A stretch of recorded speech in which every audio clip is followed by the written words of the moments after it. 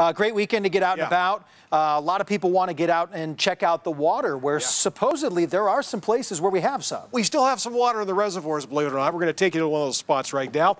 The Jordanelle, this is just above uh, from Bald Mountain, what, 12,000 feet at the summit looking down. US 40 there, right along the line, the edge of the reservoir. Uh, latest capacity I saw, uh, level right now at about 69%. So, yeah, 69% of, of, of where, what it should be. So, there we go. We need water, more of it. We are getting a little bit of water falling from the sky right now over northeastern Utah. Looks like just northeast or northwest rather of Duchesne. We have we've had some thunderstorm activity, potentially uh, some hail, certainly some lightning as these storms move off towards the northeast. This will be the focal point again tomorrow of seeing more showers and thunderstorms. Uh, most of Utah will be dry. We have an area of low pressure that's been circling just south of uh, Las Vegas, throwing up some moisture our way, some clouds, some big old showers popping up just north of Ely.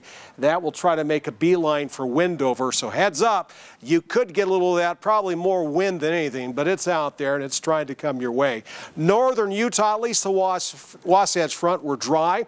We'll call it partly to mostly cloudy, depending where you're at, and that's the way it's going to stay most of the night as uh, these clouds kind of settle in for a while. Temperatures overnight, we're down in the mid 50s in Salt Lake City. St. George, your low tonight down to around 64. We have isolated showers and thunderstorms, mainly over the high country of Utah, specifically the northeastern corner, and certainly scattered showers and thunderstorms this evening over central Nevada. So driving along, between Elko and Ely, you may encounter some of that storminess. Tomorrow, we're up to 76 over in uh, Ely, 81 for high in Elko, 79 in Salt Lake City, 78 in Provo. So most of us, at least in northern Utah, will stay out of the 80s for about a day or so. Almost 70 over in Park City. Could see some showers and thunderstorms around Vernal.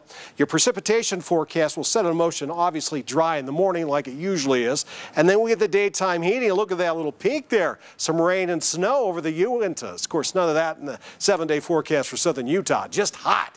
We're well into the 90s. By Tuesday, 98. Oh, and that's not hot enough for you? How about Wednesday? 102. We'll call that very hot. And then we'll back off just a tiny bit Friday and Saturday. Some extra clouds will skirt across the sky with temperatures finishing off the work week and go into the weekend in the mid to upper 90s. Northern Utah, Wasatch Front. Okay, we can take another day in the 70s. Memorial Day, a little warmer, 82, and well into the 80s on Tuesday, up to about 86 degrees. And then here comes our hot. Wednesday, first 90 degree day of the year, and then even hotter on Thursday. That 96, you see, will be a record breaker.